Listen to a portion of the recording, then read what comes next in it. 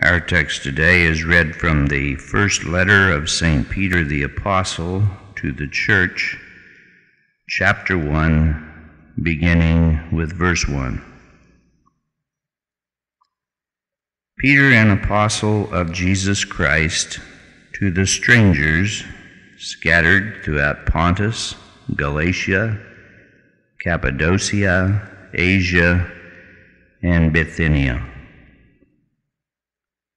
elect according to the foreknowledge of God the Father, through sanctification of the Spirit, unto obedience and sprinkling of the blood of Jesus Christ, grace unto you, and peace be multiplied. Blessed be the God and Father of our Lord Jesus Christ, which according to his abundant mercy hath begotten us again unto a lively hope by the resurrection of Jesus Christ from the dead to an inheritance incorruptible and undefiled and that fadeth not away reserved in heaven for you who are kept by the power of God through faith unto salvation ready to be revealed in the last time. Wherein ye greatly rejoice, though now, for a season, if need be, ye are in heaviness through manifold temptations, that the trial of your faith, being much more precious than of gold that perisheth, though it be tried with fire, might be found unto praise and honor and glory at the appearing of Jesus Christ, whom having not seen ye love,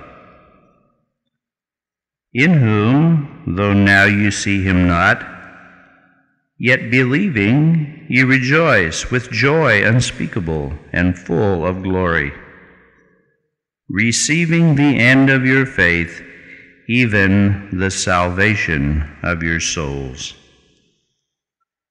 Of which salvation the prophets have inquired and searched diligently, who prophesied of the grace that should come unto you, searching what or what manner of time the Spirit of Christ which was in them did signify, when it testified beforehand the sufferings of Christ and the glory that should follow. Unto whom it was revealed that not unto themselves, but unto us, they did minister the things which are now reported unto you by them that have preached the gospel unto you, with the Holy Ghost sent down from heaven, which things the angels desire to look into. Wherefore, gird up the loins of your mind, be sober, and hope to the end for the grace that is to be brought unto you at the revelation of Jesus Christ. As obedient children, not fashioning yourselves according to the former lusts of your ignorance, but as he which hath called you is holy, so be ye holy in all manner of conversation, because it is written, Be ye holy, for I am holy. We have talked about the divine sovereignty and the election of God, and the great calling and blessing and provision that God has made for his people in giving us the gift of sanctification, in electing us not only to justification, but to sanctification and obedience, in giving us a new life, a new birth, a new hope, in giving us a rich and meaningful inheritance that cannot be corrupted or defiled, and keeping for keeping that for us in heaven against that day, and also keeping us against that day, who are kept by the power of God through faith unto salvation, ready to be revealed in the last time, and that calls particular attention to the fact that there's coming a day when all of this operation of God is finally going to be revealed in the sense that it will be complete. It will all be put out in the open, everything God has been doing. It will be something that we will then share in intellectually and understand, and it will be the justification of all that has gone on in the program of God and in our lives.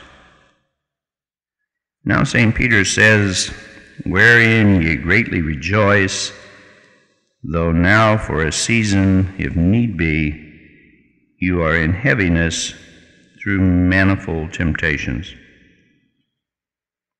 The thing that distinguishes true Christian thought from humanism, whether that humanism is secular or religious, is that all of humanism, with its religion, with its positive thinking, with its scientific goals and ambitions, and all of the other things, the philosophies, the psychologies that go along with it, humanism has all of its values in this world and in this life. It follows the philosophy of the blasphemous philosopher Voltaire. Everything for the best, said Voltaire, in this best of all possible worlds. Christian philosophy says everything is for the best now only in light of the fact that this is not the best of all possible worlds. There is a better world to come, and everything is only for the best now for the child of God in light of that which is to come. Sometimes in the counterfeit religious thought that calls itself Christian, we hear it said, well, serving Jesus Christ is the happiest and the best and the most fulfilling and the most honorable and the most admirable and the most healthy and profitable life, even if there was no God and no heaven and no future, still be the way to live. St. Paul said that just is plainly not the case. That is absolutely, unequivocally not true. St. Paul the Apostle said in the 15th chapter of the First Corinthian letter that if all the hope we had was in this world, we, followers of Jesus Christ, would be the most miserable of all men. If this is all we had, we'd be the most wretched and to be pitied people on earth. Why is that? Because we're giving away now what the natural mind the unenlightened man considers to be of value in the belief that in order, in exchange for sacrificing this for the will of God and the kingdom of God, we will get something better. There is a dichotomy of thinking between Christian thought and all other thought, and I want to emphasize it doesn't make any difference if that thought is religious. One of the great misconceptions of history is that there is, from the biblical point of view, something inherently good about religion. The Bible is probably the hardest book on religion of anything that was ever written. There is more religious hypocrisy exposed and condemned in the Bible than any other writing, any other single volume.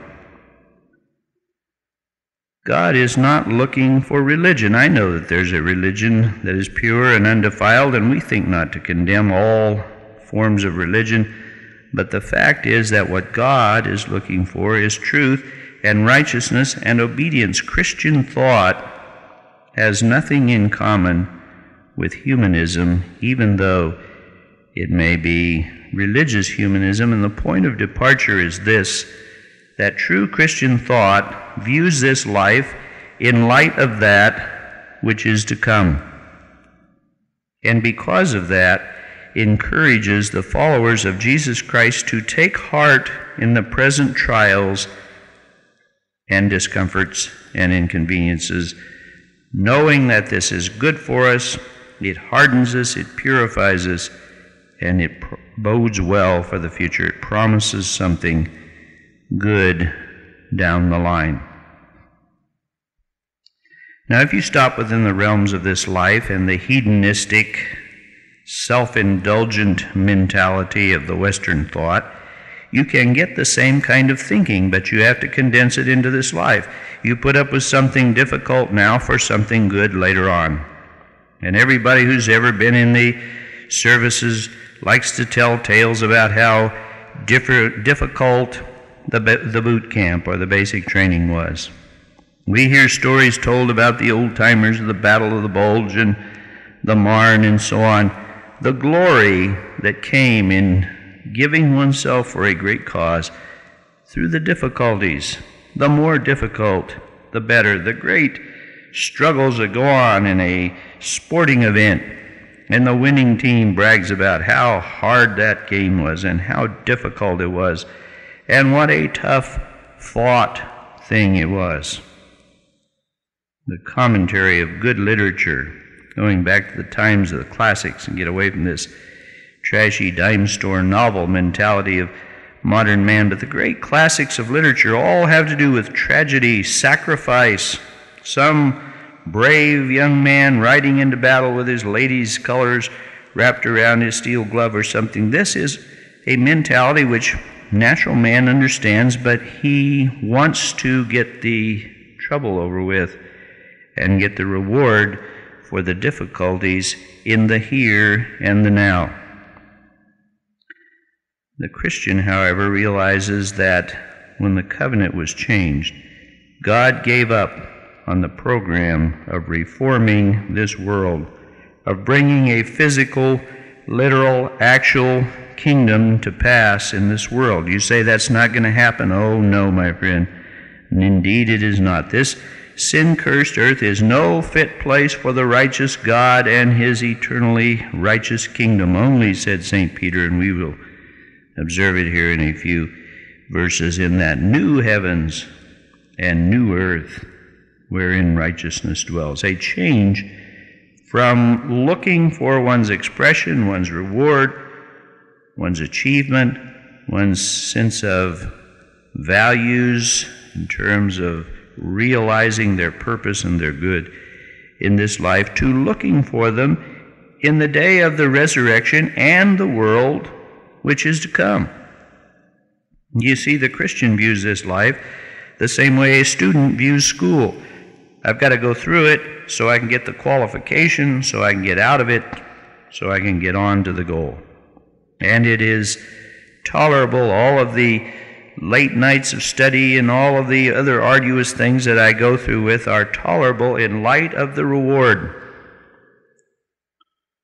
The children of God push that day of reward on past these mortal years till the time of the coming of Christ and the reward of the saints, and view their lives in light of that and in light of the fact that a great inheritance is laid up for us and reserved for us and is kept by God for us, even as we ourselves are kept by God. The person who understands then rejoices in the knowledge that we are moving toward that day, toward that great day of judgment, the opening of the books, and the rewarding of every man according to his works, and rejoices in the realization that he himself is involved in the achievement. He is a participant. In Christ, his struggles his sacrifices, his sufferings are redemptive and they are meaningful. They are the means by which the curse that we will suffer in this world is turned into something good and profitable. Nihilism sees man as having no purpose, no reason, no cause, no plan from a divine being from the perspective of history Existentialism considers man to be an accident and his world to be an accident and gives man not only the right but the challenge to fight against all hostile forces with whatever means are available to him simply because he's a struggling part of evolutionary procedure. This is not the biblical way at all. In the biblical thought, there is design. There is purpose. There is reason. There is meaning. There is cause to suffer. Reason to participate. Something redemptive in the trials. And so the apostle said, You rejoice in this hope, even though now, for a while, it, it may be necessary because of the many trials that you will go through in life to be in heaviness. Still you rejoice.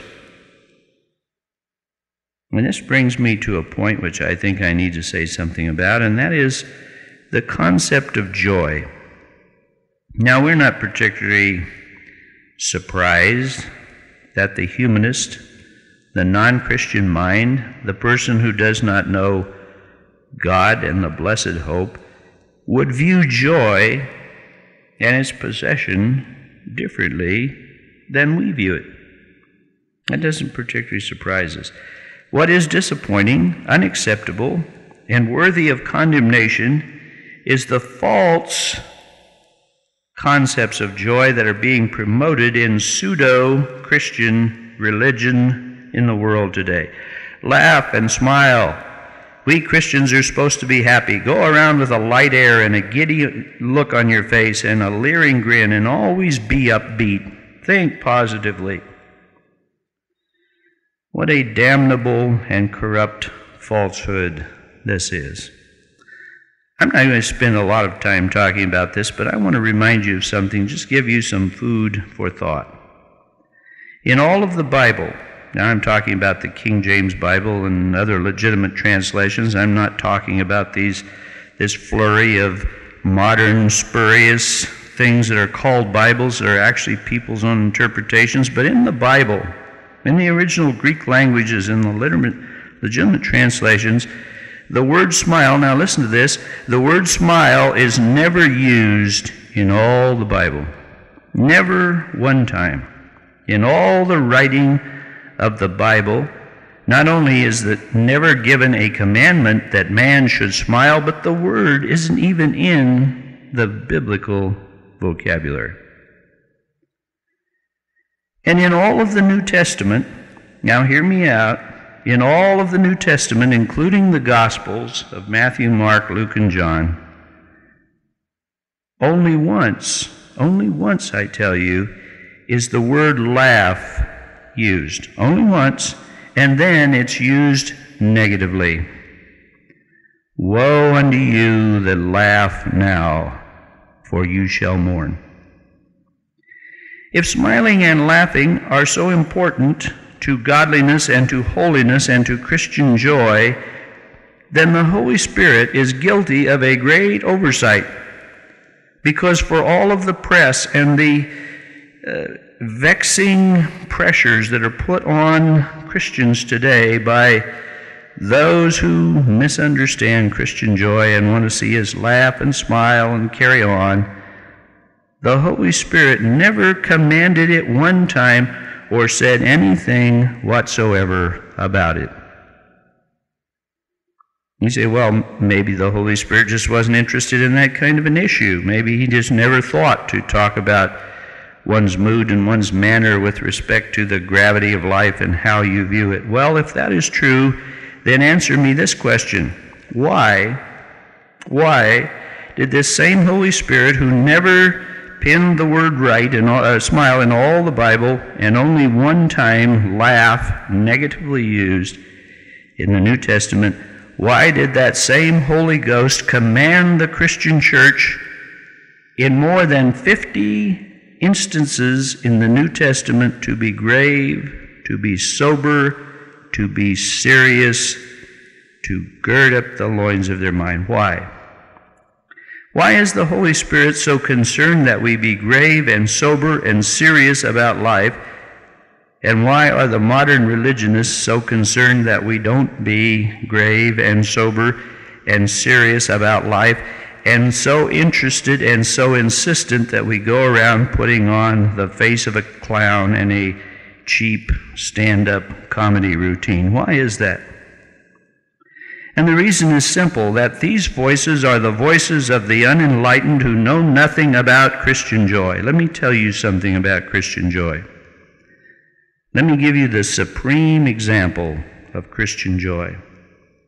It says in the Bible of Jesus Christ, who for the joy that was set before him endured the cross, despising the shame. Who for the joy that was set before him endured the cross. And yet the Bible tells us that Jesus wrestled in the garden with great internal restings and strugglings which were so enormous that he sweat blood out through the pores of his skin. And he said, Father, everything is possible to you. You can do all things. Don't make me go through this. I don't want to go through this. If there's any other way, I don't like this business. Nevertheless, not my will, but yours be done. But, Father, can you think of another way we can do it, maybe? And what was his mood? If you read in the fifth chapter of the book of Hebrews, you will hear these words said of Jesus Christ with strong crying and tears, he prayed unto him who was able to save him from death. And even though he was a son, yet he learned obedience from the things that he suffered. He prayed to him with strong crying and tears and was heard in the thing that he feared. Jesus Christ didn't feel much like laughing, my friend, in the garden. And he didn't feel much like smiling. And there's no indication that Jesus had a smile on his face while he was carrying his cross up to Calvary's mountain.